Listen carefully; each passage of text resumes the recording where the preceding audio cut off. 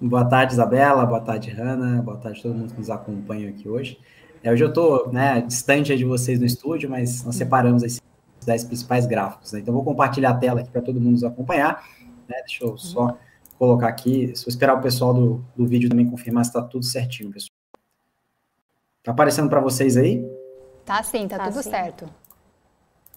A tela cheia? Isso. Tudo certinho, Isabela? Ana. Tudo certo, então, aparecendo BMC Stock. Vamos começar com a nossa apresentação aqui, né? É sempre.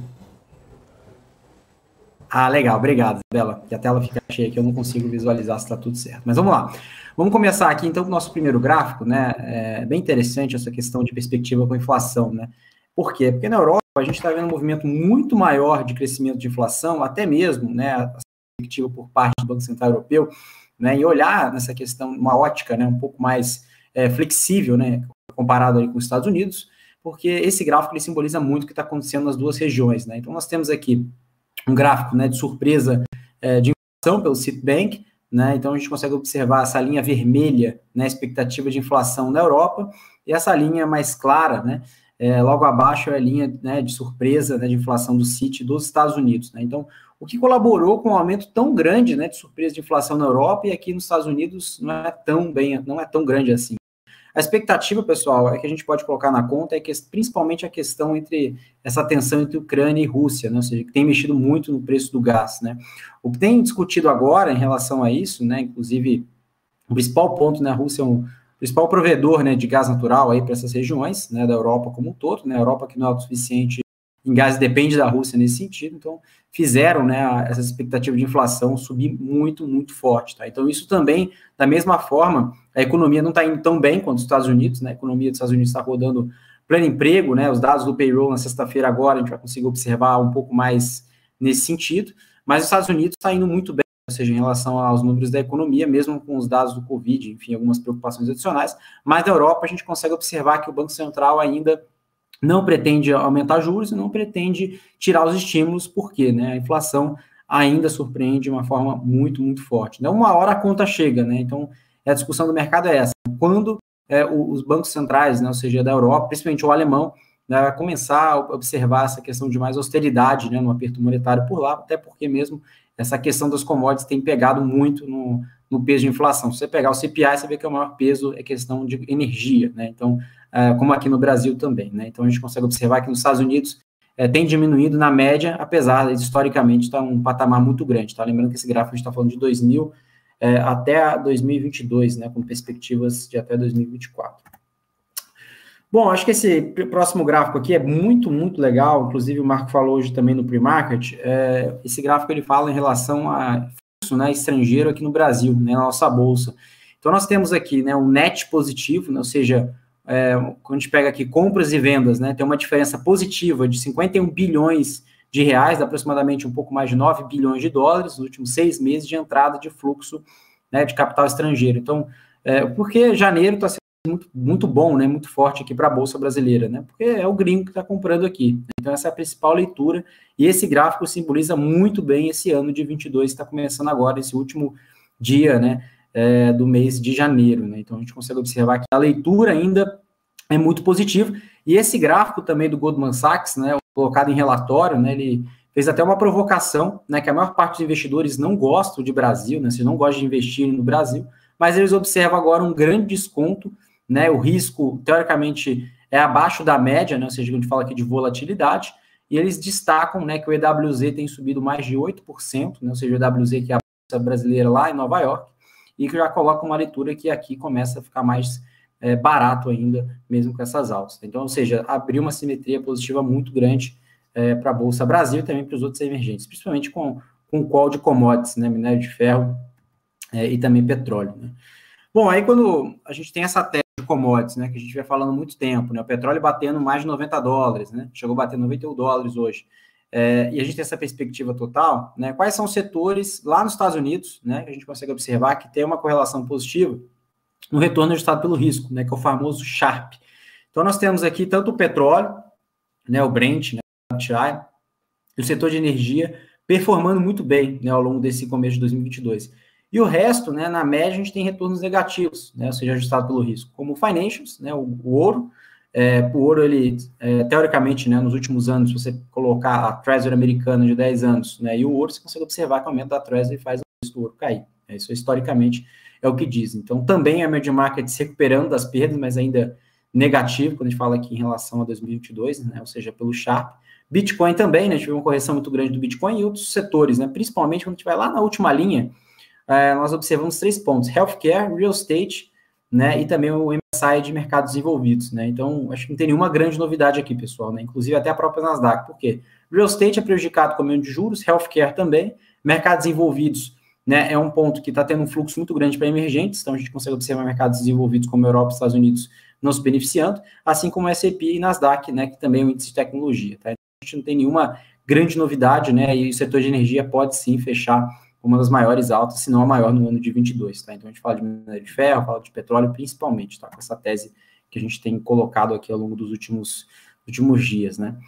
Bom, aí a gente tem esse gráfico muito interessante também, que ele mostra a perspectiva de IPS, né? ou seja, a perspectiva de, de lucro, né, nos Estados Unidos.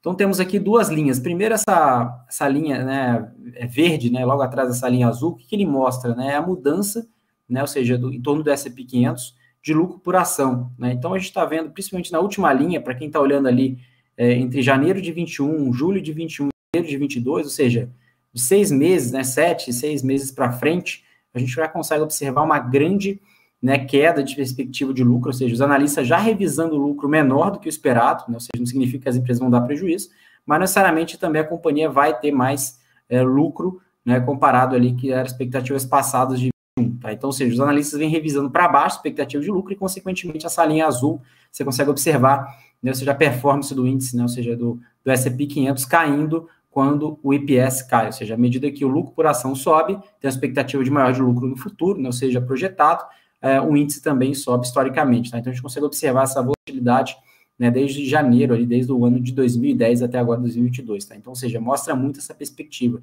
lucro para baixo, né, bolsa para baixo, expectativa de lucro para cima, bolsa para cima, tá? Então, ou seja, qual é o momento que nós estamos agora de revisão, né, para baixo, marginal, é, marginalmente, né, negativa da maior parte das ações americanas, tá? O que é interessante, é, mesmo com uma perspectiva menor de lucro, né, a maior parte da, das ações americanas, a gente tem esse gráfico que mostra, né, a perspectiva, né, em relação né, ao short, ou seja, o quanto que está shorteado, né, ou seja, das ações do S&P 500 na média, né, ou seja, quando a gente pega aqui o percentual do market cap, somente 1,5% do market cap do S&P 500 né, tá short, ou seja, está né, vendida descoberta. Então, ou seja, a maior parte dos investidores tem diminuído essa participação do short, à medida né, que tem um ponto bem interessante, depois que nós até falamos aqui no, no BMC Stock, ou seja, a queda do índice de 10, é, acima de 10%, né, quando a gente fala aqui do 500, já mostra que, historicamente, ao longo dos últimos anos, né, depois de uma queda de 10%, normalmente né, o índice é, suba ali para próximo de 10% a 15%. Então, uma pesquisa até que foi é, feita também por diversos bancos, né, se quiser a gente pode passar aqui também nas próximas apresentações, acho que vai muito válido para mostrar isso, mas diversos investidores já dizendo né, que essa perspectiva aqui de lucro é, nos Estados Unidos, mesmo que seja abaixo, não seja comparado ali ao histórico de, de 21, demonstra ali um certo piso né, por parte da Bolsa Americana, ou seja, é, tem uma, é, uma parte dos bancos americanos, né, inclusive Bank of America, que soltou um relatório recentemente, né, dizendo né, que a Bolsa Americana mostra-se né, um potencial né, de oportunidade para quem olha principalmente ali no, no médio e longo prazo, ou seja, depois dessas grandes quedas. E alguns bancos também dizendo que poderiam ter uma correção ainda maior, mas o que mostra nesse gráfico, né, ou seja, o short ele vem diminuindo é, mesmo com essa perspectiva mais negativa em termos de lucro, como falei anteriormente. Tá? Bom, aí a gente começa já a abordar um ponto interessante, é, que é a questão da bolsa chinesa, né? Então, nós temos aqui dois gráficos, duas linhas né, desse gráfico que mostra a avaliação de preço-lucro, né, ou seja, projetado nos próximos 12 meses, é, das ações chinesas como um todo, né, ou seja, essa linha azul, e as ações, né, quando a gente tira ações chinesas, tirando as ações de internet, né, ou seja, tirando as ações de tecnologia, né.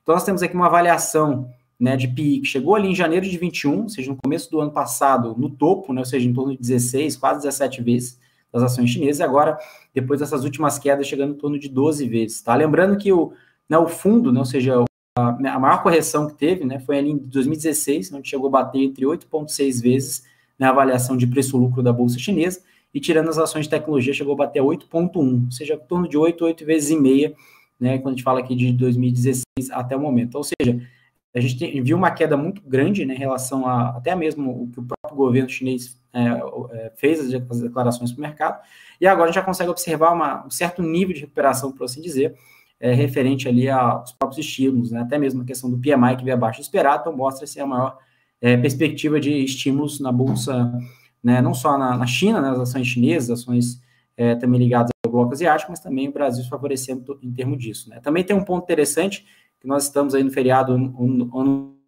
novo lunar chinês, né? Isso também deve tirar um pouco da perspectiva, principalmente do minério por aqui. Então, um ponto interessante a se observar.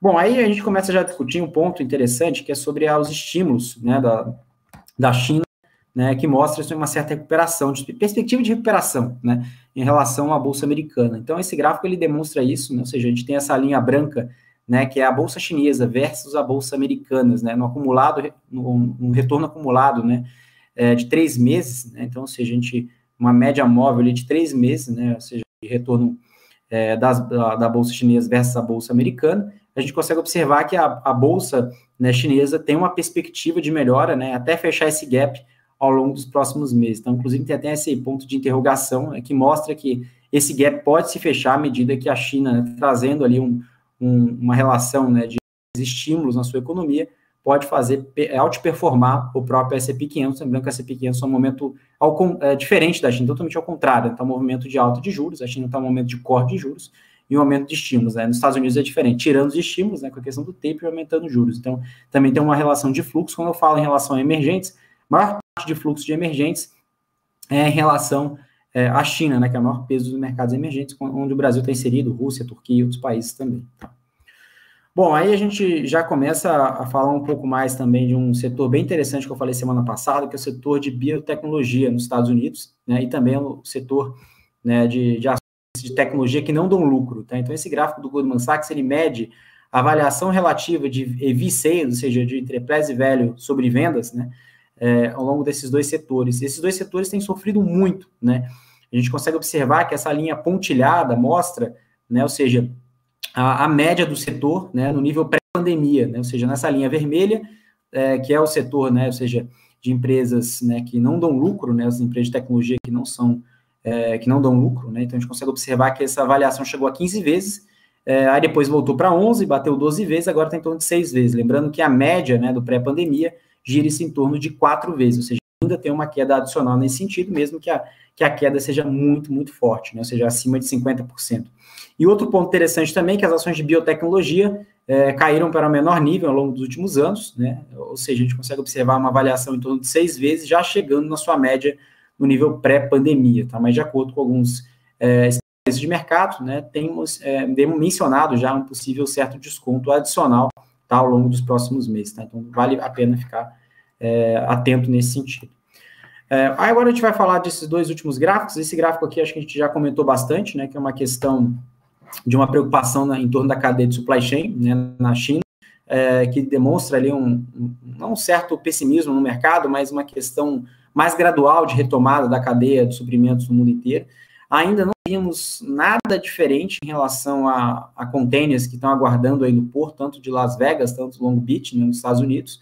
Então a gente consegue observar que ainda está um nível muito elevado, um nível recorde, tá, em janeiro de 22. Tá? Algumas empresas que a gente tem conversado aqui internamente já começam a discutir que ao, longo de 22 deve começar já a diminuir essa pressão tá, em relação à cadeia de suprimentos, que pode ajudar bastante na inflação mundial, tá? não só Brasil, mas Estados Unidos, Europa, China como um todo. Tá? Então, isso é um principal ponto que o mercado está enxergando, está sempre olhando esse gráfico para tentar entender aí essa questão, né, como que anda essa questão da cadeia logística global. É um ponto que pesa bastante.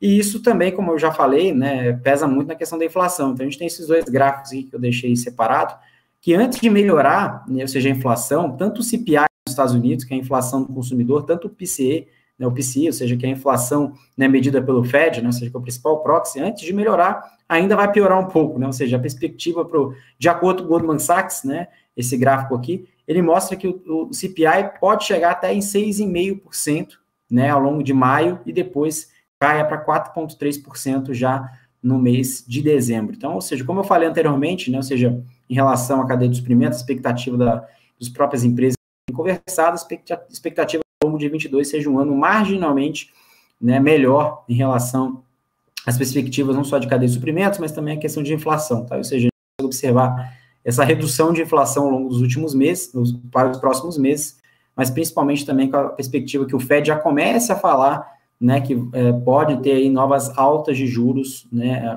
inclusive a Bank of America né, já foi o primeiro a dizer ali é, que deve ser em torno de sete vezes, né, deve aumentar sete vezes os juros ao longo de 22, tá? Então, inclusive, diversos bancos, Goldman Sachs já apostou em cinco vezes, né, Bank of America em sete, inclusive o CEO do JP Morgan também falou em sete vezes, então, ou seja, o tamanho do aperto monetário vai dizer muito também sobre essa perspectiva de inflação para combater né, um, é, os maiores números aí ao longo dos últimos 40 anos né, na Europa, nos Estados Unidos, a inflação é o principal ponto, a principal pauta que a gente tem falado aqui nos nossos gráficos do dia.